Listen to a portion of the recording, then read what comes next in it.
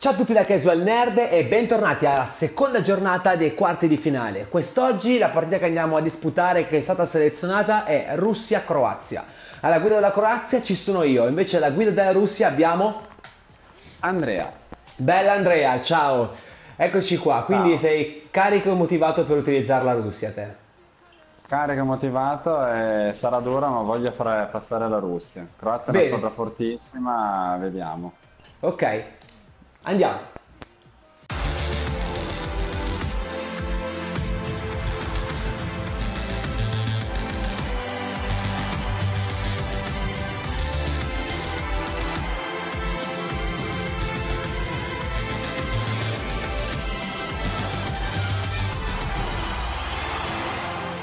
Pronti, partenza via, andiamo a vedere come e qual è il pronostico di Russia-Croazia. Pronto Andrea? Prontissimo. Via! Beh, la Croazia è una squadra fortissima.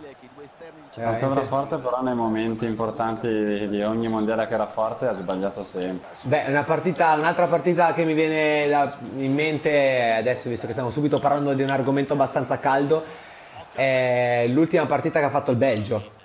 Cioè, avresti mai Eh, pensato una roba simile contro il Giappone? Mai pensato e ma è stato tutto un po' casuale perché ha fatto un tiro, un gol, poi dopo sul- sulla prima azione del Belgio il Belgio ha preso il palo, quindi è stato tutto un po' una partita strana. eh. Il portiere alla fine del Giappone sembrava Benjamin Price, alle parate che ha fatto. Infatti hanno fatto un sacco di meme su questa partita.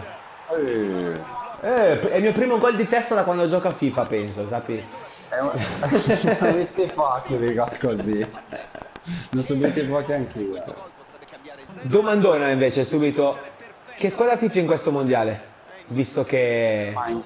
In questo mondiale mi piace molto la Francia e il Belgio, perché sono due squadre fantastiche. Anche la Croazia in parte, eh, però più Francia e Belgio, diciamo.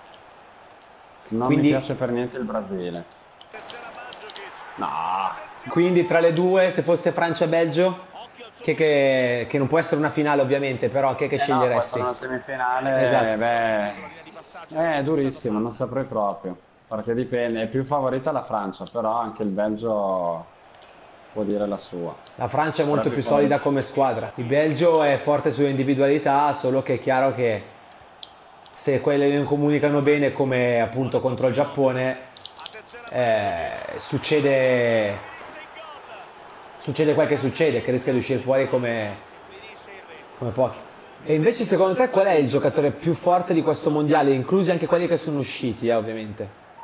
Beh, questa è una domanda facile, Cristiano Ronaldo. Ok, e visto che l'altra la rende un pochino più divertente, se non ci fosse Cristiano Ronaldo, Eh, se non ci fosse lui, beh, anche qui un'altra risposta scontata che è Neymar. centrocampisti invece che ti stupiscono? Beh, Modric, assolutamente. Ti voglio chiedere, faccio un'altra domanda molto interessante. L'altro pronostico per questa giornata, qual è secondo te? Svezia-Inghilterra, si intende?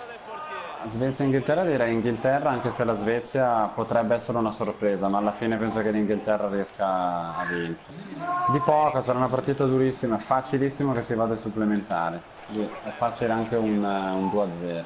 Ok, quindi diciamo che il pronostico che stai lanciando per Inghilterra-Svezia è 2-0 per l'Inghilterra ai supplementari o anche prima dei supplementari, non i rigori. Quindi segnatevi Non questo i- pronostico. Nel frattempo invece la partita Russia-Croazia è 0-3 per la Croazia. Eh, la partita può comunque subire un ribaltone perché il mio stato fisico è già calato, invece il stato fisico di Andrea sento che sta aumentando e sono certo che cambierà da 0-3 e passerà a qualche gol in più per la Russia. Detto questo, direi che si può proseguire con il secondo tempo. Andiamo. Nella realtà invece secondo te questa partita com'è che finisce? Mm, non proprio, non così, ma quasi. Dici un vedo 3-0? No, Un risultato- tre no, ma una vittoria secca comunque. Che squadra tifi della Serie A invece? Parlando di Serie A? Una squadra pericolosa, nel senso che non sappiamo ancora di chi è. Solo per l'inizio. Parlando Noi di non- Europa. Ah, tu intendi Del chi fair play finanziario. Ah, eh, eh, è, un- è una cosa strana, non si capisce. Perché ci sono squadre che spendono un sacco di soldi e non succede mai niente. E visto che stiamo parlando di Serie A, ti faccio un'altra domanda molto interessante. Parliamo di calciomercato un attimo. Qual è secondo te al momento il miglior acquisto del calciomercato? Beh, il miglior acquisto del calciomercato spero che non sia quello di cui si parla in questi giorni che Ronaldo alla Juve.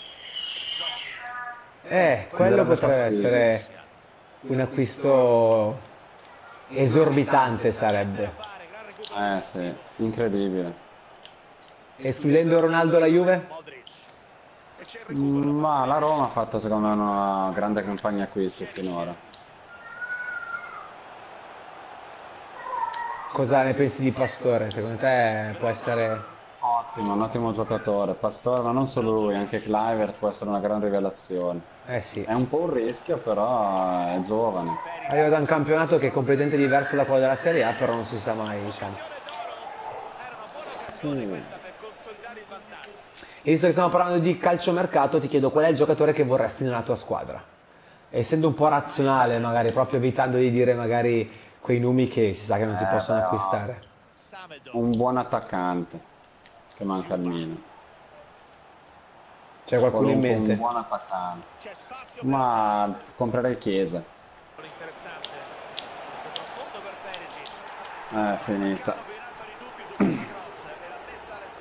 Che squadra sorprenderà invece il campione italiano quest'anno? Beh, per la vittoria nessuno. Sorprese grandi nessuno. Solite squadre alla fine.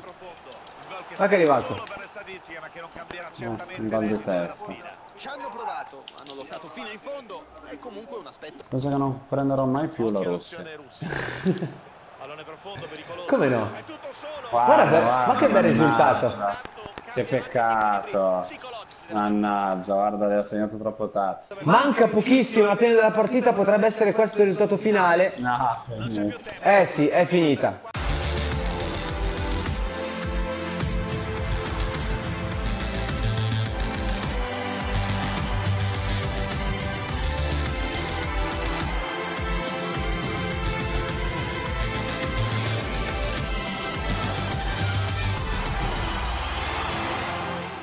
Bene, quindi il risultato al momento pronosticato per Russia-Croazia è 3-4, giusto?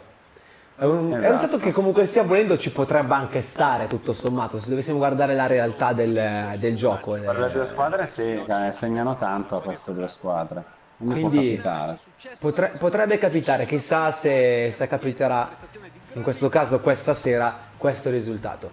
Ricordiamo anche l'altra partita che ha pronosticato Andrea che è Inghilterra-Svezia 2-0 per l'Inghilterra.